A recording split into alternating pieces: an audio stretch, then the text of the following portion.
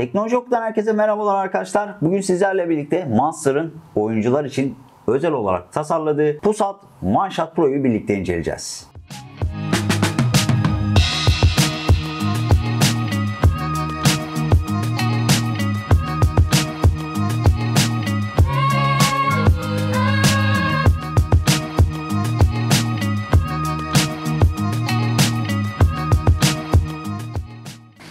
Biliyorsunuz arkadaşlar son dönemde oyuncular için özel olarak ekipmanlar geliştiriliyor. Aslında geçmişte böyle çok fazla oyuncu ekipmanı vesaire yoktu ama özellikle e-sporun yaygınlaşmasıyla birlikte oyun için geliştirilen ekipmanlarda özel önem kazandı. Neden? Bir oyunu oynarken ekipmanın size sağladığı rahatlık ne kadar fazlaysa, size sunduğu avantajlar ne kadar fazlaysa o oyundaki başarı oranınız da o kadar artıyor. Bu yüzden doğru bir ekipman seçmek çok önemli arkadaşlar. Bugün inceleyeceğimiz Master One Shot Pro'da bu doğru ekipmanlardan biri diyebiliriz. Çünkü son derece hassas ve tasarım açısından da oldukça şık bir fareyle karşı karşıyayız.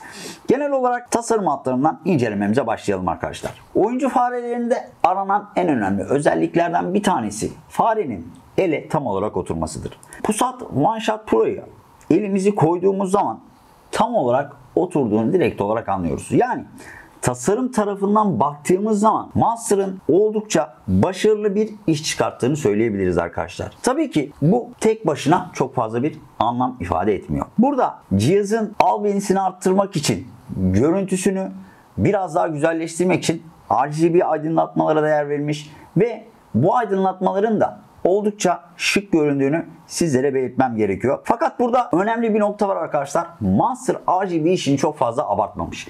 Biliyorsunuz bazı fareler ışıl ışıl oluyor. Dolayısıyla bu durum oyuncuların konsantresini bozabiliyor. Monster'ın buradaki RGB aydınlatmayı oldukça tadında kullandığını sizlere söylemem gerekiyor. Çok fazla ışıl ışıl böyle etrafa ışık saçan bir fare değil. Gayet güzel, ılımlı tonlarda sizi rahatsız etmeden, oyundan soğumadan bir deneyim çıkarmanızı sağlıyor bu fare. Genel olarak arkadaşlar One Shot Pro'nun tasarımı, RGB aydınlatması vesaire benim çok hoşuma gitti. Gerçekten güzel, hassas, şık ve çok fazla abartı olmayan bir fare. Elbette bunlar tek başına bir oyuncu faresi olmak için yeterli değil. Ne var? Bir de teknik özellikler kısmı var arkadaşlar. Teknik özellikleri dilerseniz ilk olarak DPI'ler başlayalım. Bu fare arkadaşlar 100 ile 16000 DPI arasında bizlere çeşitli hızlar sunabiliyor. Bu çok önemli. Neden arkadaşlar? Biliyorsunuz DPI her oyunda farklı seçeneklerde kullanma imkanımız olan bir şey. Yani her oyunu biz aynı DPI seçeneğiyle oynamıyoruz. Çok basit bir örnek vereceğim sizlere. Profesyonel oyuncular FPS oynarken, FPS oyunlarında daha doğrusu Kanas tarzı dürbünlü silahları çok düşük DPI'lerde kullanıyorlar. Neden?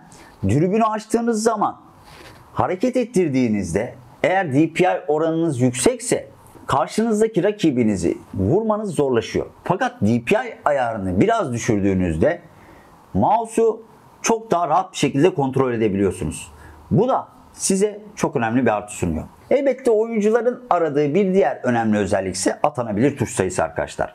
Burada 8 farklı tuş olduğunu görüyoruz. Bu 8 farklı tuşu cihazın yazılım desteği sayesinde özelleştirebiliyorsunuz ki bu da artı bir özellik arkadaşlar. Neden? Bazı farelerde tamam çok fazla tuş oluyor ama yazılım desteği bulunmadığı için siz bu tuşlara atama gerçekleştiremiyorsunuz. Fakat Master burada Pusat One Shot Pro için bir yazılım desteği de sunmuş. Dolayısıyla yazılım desteği sayesinde bu tuşların her birini özelleştirebiliyorsunuz. Peki ben bu tuşları özelleştirdim.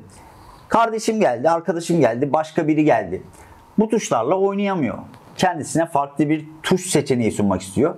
Burada da arkadaşlar işin içerisine farklı bir profil desteği giriyor. Bu farede 5 farklı profile kadar tuş kombinasyonunu saklayabiliyorsunuz. Yani siz geldiniz farenin altında bir tuş var. User profil tuşu.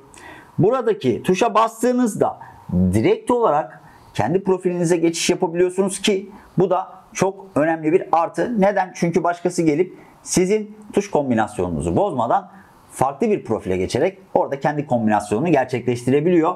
Siz tekrar geldiğinizde bu fareyi kullanmak için user profil tuşuna bastığınızda kendi profilinize geçiş sağlayabiliyorsunuz arkadaşlar. Bu sayede ne oluyor? Farenizi rahat bir şekilde tekrar ayarlama yapmak zorunda kalmadan kullanabiliyorsunuz. Gelelim bir diğer artı özelliği arkadaşlar. Monster One Shot Pro'da ışıklandırma ayarlarını değiştirebiliyorsunuz. Yanıp sönüyor ya da tek bir renk yapabiliyorsunuz. Ayrıyeten şarj durumunu da görebiliyorsunuz. Burada tabi şarj durumu işin içine girdiğinde pil ömrünü vesaire sorgulayacak olabilirsiniz. Bu tamamen sizin fareyi nasıl kullandığınızla alakalı bir durum arkadaşlar. Yani işte RGB'sini mesela açıp kapatma olayı falan var biliyorsunuz ya da yanıp sönmesi var. işte tamamen yanması var. Bunlar hepsi şarj durumunu değiştiren etkenler. Fakat burada Monster yine bir artı seçenek sunmuş bizlere. Bakın kutunun içerisinden şöyle bir tip C USB kablomuz geliyor. Bu USB kablo ile birlikte faremizi rahat bir şekilde şarj edebiliyoruz. Buradaki asıl önemli nokta ise kablo takılıyken de yine faremizi kullanabiliyor olmamız arkadaşlar. Biliyorsunuz bazı fareler şarj esnasında garip bir şekilde kullanılamıyor.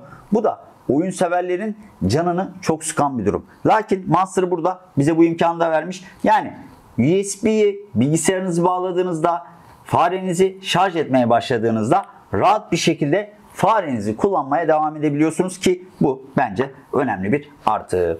Gelelim teknik detaylara arkadaşlar. OneShot Pro'da Pixart PMW3389 bir sensör bulunuyor ki bu sensörün oldukça başarılı olduğunu söyleyebiliriz. Ağırlığını merak ediyor olabilirsiniz. Bu farenin ağırlığı arkadaşlar 110 gram ki burada genel olarak ağırlığın ideal olduğunu söyleyebiliriz. Yani ne çok ağır ne çok hafif. Burada Monster orta derecede bir fareyi bizlere sunmayı başarmış. DPI özelliği 100 ile 16.000 arasında değişiyor. 8 farklı seviyede ayarlanabiliyor.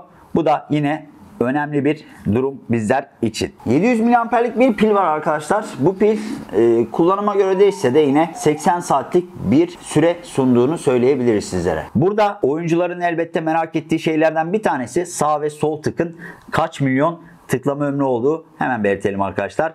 Sağ ve sol tık için 20 milyon tıklama ömrü bizlere sunuyor. Raporlama hızı 1 milisaniye arkadaşlar ki bu zaten oyuncu faresinde olması gereken bir değer diyebiliriz. Bu arada şu kafanıza takılabilir. Ya bu fare acaba hangi işletim sistemleriyle uyumlu? Bunu arkadaşlar Windows'ta kullanabiliyorsunuz. Yani klasik bilgisayarlarda kullanabiliyorsunuz. Linux'ta çalışıyor. Ayrıyeten Mac'te de çalışıyor. Mac'te de hiçbir sıkıntı çıkarmıyor arkadaşlar. Şu görmüş olduğunuz adaptörü kutunun içerisinden çıkan adaptörü USB yuvasına takarak rahat bir şekilde bu fareyi kullanmaya başlıyorsunuz. Şarjı bittiğinde dediğim gibi kablo ile devam edebilirsiniz. Kablonun uzunluğu 1.6 metre ki bir fare için gayet yeterli. Yani bilgisayarınızın şöyle önünüzde olduğunuzu varsayarsak ya da kasa atıyorum aşağıda olduğunu varsayarsak gayet yeterli bir uzunluk 1.6 metre. Zaten kısa sürede şarj oluyor arkadaşlar. Dolayısıyla şarj olduktan sonra tekrardan tip C şarj kablosunu çıkartıp farenizi kullanmaya devam edebiliyorsunuz.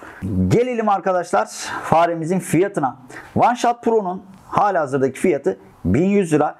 Yani bu teknik özelliklerdeki bir fare için bence son derece uygun bir fiyat etiketi olduğunu söyleyebilirim. Zira oyuncu ekipmanlarının zaten pahalı olduğunu biliyoruz. Yine de Monster burada kullanıcılarına uygun fiyatlı bir seçenek sunmuş diyebiliriz arkadaşlar. Eğer bu fare hakkında kafanıza takılan herhangi bir soru işareti varsa bizlerle aşağıdaki yorumlar kısmında paylaşabilirsiniz. Bizler de elimizden geldiğince sizlere yardımcı olmaya çalışacağız arkadaşlar. Başka bir videoda görüşmek üzere hoşçakalın. Bizleri sosyal medya hesaplarımızdan takip etmeyi de unutmayın.